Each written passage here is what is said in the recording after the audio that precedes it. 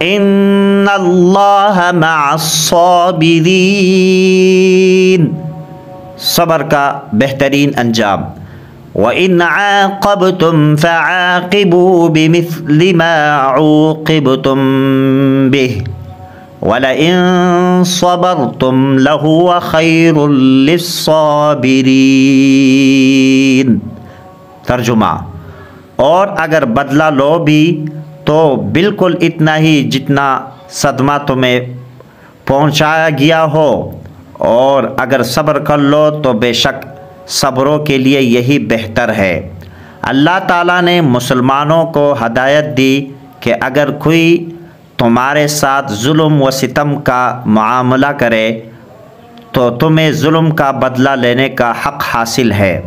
مگر یاد رکھو، صبر کا مقام بہت بلند ہے۔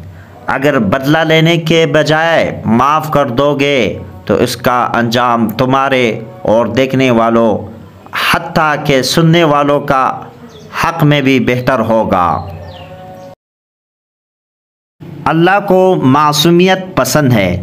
ایسی معصومیت کہ کوئی نیکی کرے اور اسے اللہ کا احسان سمجھے، ایسی معصومیت کہ اگر وہ گناہ کر لے تو فوراً توبہ کی طرف متوجہ ہو جائے۔ اللہ سے معافی مانگے، ٹوٹی پھوٹی، اچھی بری، پکی سچی، بس وہ مانگے۔ اللہ کو گناہوں کی نشاندہی پسند ہے کہ وہ اپنے گناہوں پر نظر رکھے۔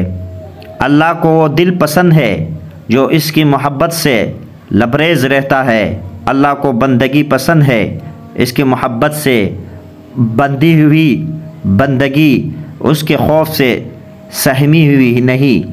اللہ محبت ہے اور وہ محبت کو ہی محبوب رکھتا ہے۔